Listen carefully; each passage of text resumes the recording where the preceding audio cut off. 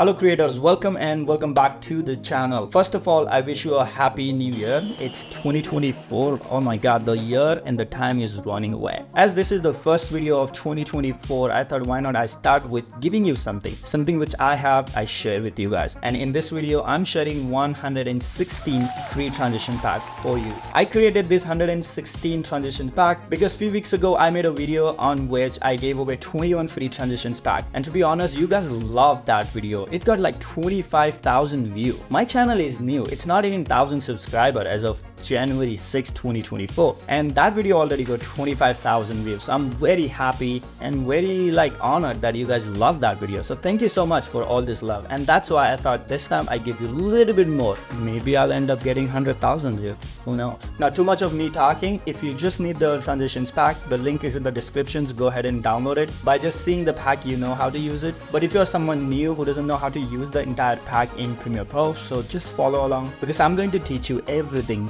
from the beginning of downloading the pack all the way how to use it.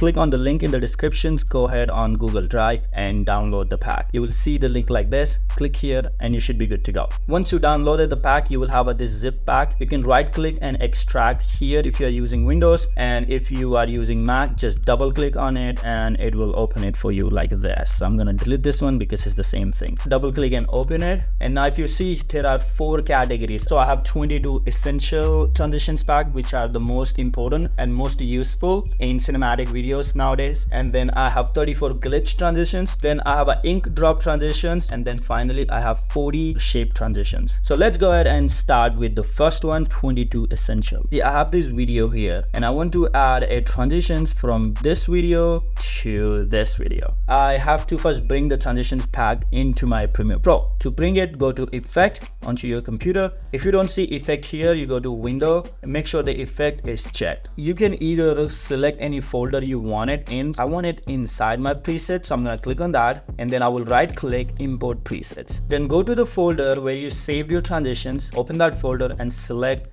this one, 22 essential presets transitions. And then at the bottom of your screen, you'll see this option as import. So now if I go in my presets, click on this arrow, and scroll down you can see I have this 22 essential transitions back and if you click on this tiny icon here this property icon it will show you how to use it. So i try to keep it as simple as possible for you guys. In case even if you forget in the future how to use it you can just click on that property icon and there is a descriptions i wrote it for you guys. You just read it and you'll know how to use it. To apply these transitions i like to use adjustment layer but you are welcome to use it directly on the clip. The reason why i use adjustment layer in case if i don't like the transition i can just delete the adjustment layer. So i'm gonna just go here at the bottom of my screen. I'm gonna click on this new item icon and i will create adjustment layer okay bring it in the top. Come back to the effect again let's say i want to apply this one the stretch to right 10 frames. And if i click on this icon again as i said double click it will show me 10 frames on adjustment layers. So that means i have to create five frames on each side. Be in the middle then i will press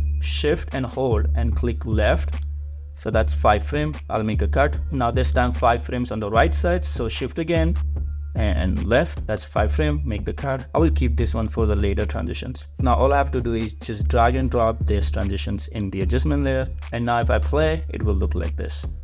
Pretty cool huh? It's very easy. Read the descriptions drag and drop. Now let's try one more. Bring this another adjustment layer into the middle of these two clips. So it's from here to this thing. Let's say I'm going to apply this clockwise movement this moment. So I'm going to double click on here to read. It says total you need at least 20 frames, 10 frames left, 10 frames right on adjustment layer or cut the clip into 10 frames on each side. As I said, you can either use adjustment layer or you can use directly the clip. For this transitions, you need 20 frames total. So I have to press two times on each side. So shift 5 10 i'm gonna make a cut all the way till here shift 5 10 make a cut and i'll keep this one for the next one so that i don't have to create again and again now here i will apply this clockwise let's see how it goes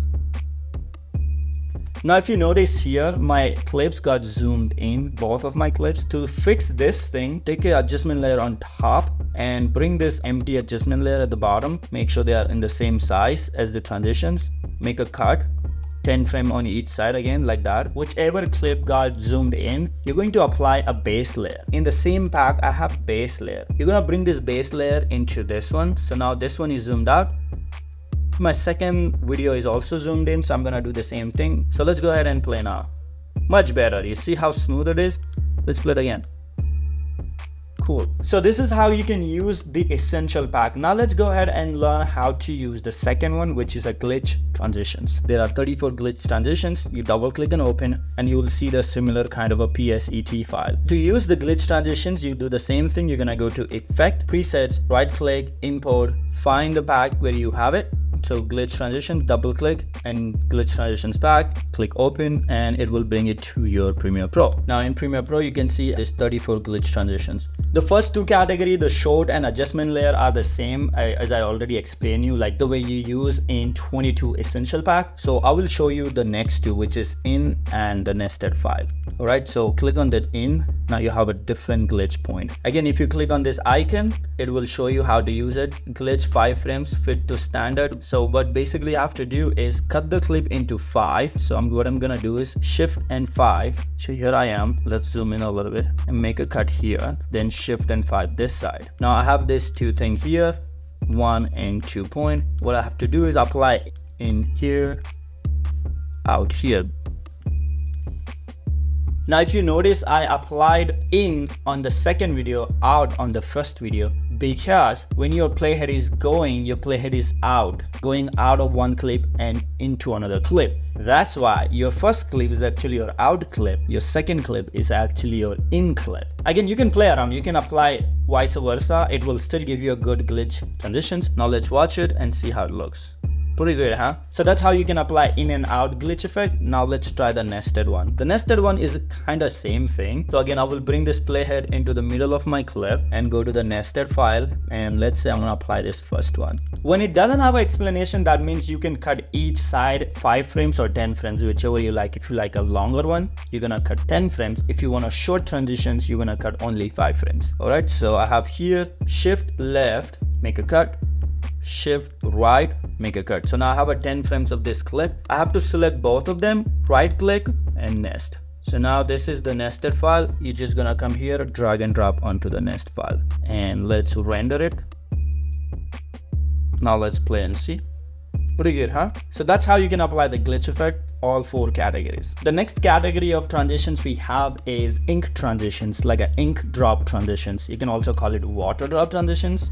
In the pack, there are 20 of these ink transitions. Double click and open and see whichever you like. Let's say I like this one, number six. So all I have to do is drag and drop number six into your timeline. Ink transitions here which is doing nothing at this moment but I want this video this island video to the boat transitions. To do that first I need to bring this island video a little bit higher and put this boat video all the on the down below it right below then I will bring this in transition and match with the end of it so however you want it where do you exactly want it to end so match with the end of it and make a cut at the beginning of the transitions. So it's gonna play like this video and then it will transitions from here. So click on the second part of the cut where the transition is applied. Go to effect and effect type track matte key. So if you see track matte key here, you're gonna drag onto the actual video, the cut you made, not on the ink transitions, but the actual video, the middle one. Then you go to effect control. In effect control, the track matte key, you're gonna change this matte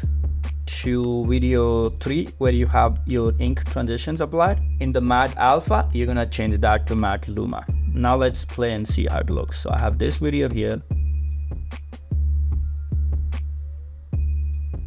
And that's how you apply it. It's a little confusing, but if you just follow what I did here, it's very easy as well. Now the last category is 40 transitions pack of shape category. Shape is like a MOGRT file. It's a little bit different than the other three categories how we use it, but it's very trending at this moment in social media world everyone is using it so i just thought maybe i include this pack as well so you double click and open you can see this 4d MOGRT file here you actually have so i want to add a transitions from here to this one. In order to add that MOGRT transitions, first you have to go to window and go to essential graphic. In essential graphic, make sure you're on the browse and click on this plus icon here. Again, go and find where you have it. I have it here, 40 MOGRT transitions. Click on the folder. Do not open. This time you don't have to open. You want the entire folder to be with you in Premiere Pro. You don't want to import one by one. Do not open and just do choose. And now you have this local transitions pack. Check this 40 and you will see all this 40 transitions pack. And if you want to apply any of them, all you have to do is just drag and drop. So let's say I'm gonna apply this one. Just drag and drop. There is one thing though, when you apply these transitions, make sure when the transition cover the entire screen, that part is in the middle. So to bring that part into the middle,